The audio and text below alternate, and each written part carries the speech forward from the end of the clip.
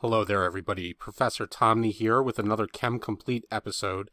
And in today's episode, we're going to get ready to wrap up aldehydes and ketones with a look at the last major reaction that we need to study for the aldehyde and ketone lecture series. And that is the Wittig reaction. So that W is pronounced with a V, the Wittig reaction. And we are going to take a look at this reaction in detail on the channel today. So that's coming up right now.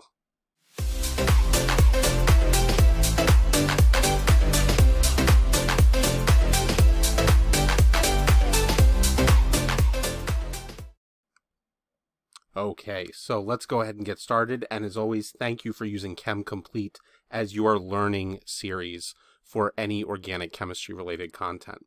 So the way that the Wittig reaction works is it's really in two parts. The first part is prepping or getting ready for the Wittig reaction, and that is the creation of what is known as an ylid. So again, some weird terminology here. The Wittig with a V and then ylid with that Y is pronounced ill, like if you were to be sick, and then id. Ylid is the name of that compound. Okay, so what is an ylid? An ylid is going to be the composure of triphenylphosphine, which is three phenyl groups, which we're abbreviating with a pH here. So don't forget that would, those would each be a benzene ring.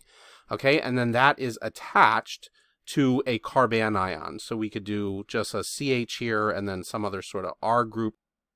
So once you have this, this portionality here would be negative and the phosphorus would be positive, and that makes your ylid reagent. And this carbanion is going to act as a nucleophile in the actual Wittig reaction. So in order to form ylids, we need access to triphenylphosphine as a starting reagent. So we're going to use triphenylphosphine, and then that triphenylphosphine, the phosphorus is going to have a lone pair on it, and that lone pair can act as a nucleophile to go in and attack some sort of a hydrocarbon group. So we want to keep this simplistic, and the formation of ylids primarily uses SN2 mechanics, so we want a relatively unhindered alkyl halide. So we can go ahead and we can use, in order to create a similar example, we can use ethyl bromide here. And in the mechanism of an SN2, the leaving group would leave. And as it is leaving, the phosphorus would come in and would attack that carbon where the leaving group was leaving from.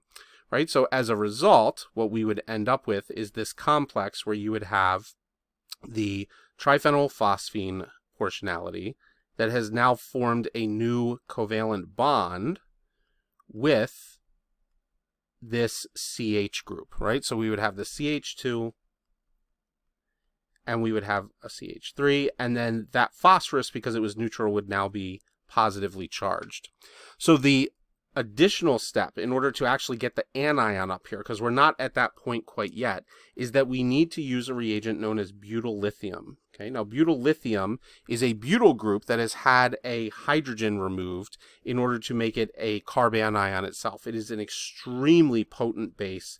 It's actually pretty dangerous to work with in the lab because it is pyrophoric, which means that if you attempt to use it, um, and it gets exposed to air or moisture or anything like that, if you draw it up into a syringe and you kind of just spit it out of the syringe, it will actually catch fire in the air when you're doing that.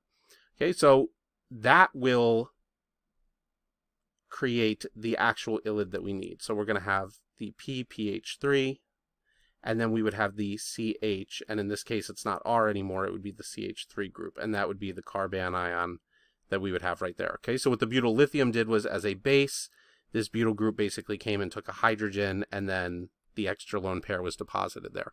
So there you go. Now we have a hold of one of the reagents we need in order to run the Wittig reaction. So then step two, obviously, is taking our ylid and running it through the Wittig reaction itself. So the Wittig reaction is going to use an aldehyde or a ketone, and then it is going to result in an alkene, so a carbon-carbon double bond. So let's just use a simple example. We can use acetone.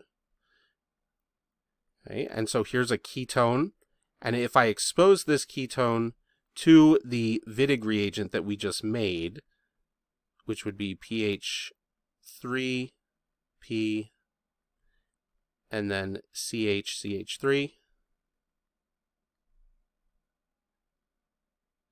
This is going to come in and act as the nucleophile, right? So the final result here, and then I'll go over the mechanism in a second as to how we got to this, okay, is going to be CH3, C, CH3, and then you would have a double bond here. So instead of the oxygen, you would have a double bond to this carbon, hydrogen, and then CH3.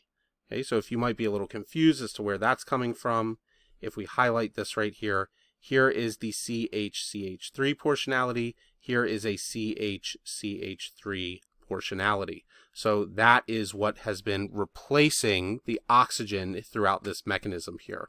Hey, now if we want to actually take a look at the mechanism and how this unfolds, well, the ylid here is going to send the lone pair from the carbon into the carbonyl group as we would expect for a basic condition aldehyde ketone reaction. Okay, and then that is going to proceed forward.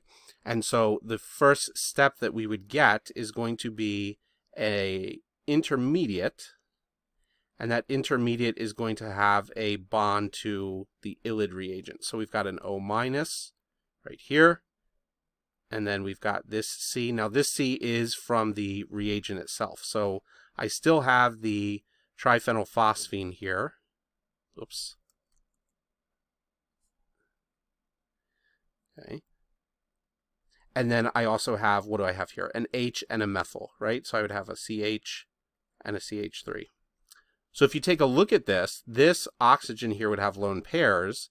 It is going to very easily form a bond and coordinate itself with that phosphorus group. And so what we end up with is a specialized four-membered ring intermediate, and that intermediate is known as a betaine. Okay, so we've got the oxygen here that now has a bond to this phosphorus. We still have the triphenyl over here. Okay, and then you can see here, you've got this four-membered ring. So this readily kind of collapses in on itself as we move along towards the product but this is your intermediate here. And again, this is known as a betaine intermediate in the Wittig reaction. And so from here, this bond can come in to form a set of pi bonds with the phosphorus and oxygen, and then you can get this set of electrons to come down and form the alkene that is needed here. And there you go. So now, again, let's highlight in a different color. Okay, so we'll use blue this time. Okay, if you look at the whole thing up here, well, here's the CH3, CH3C, right? And then here is the portionality that forms the double bond coming in.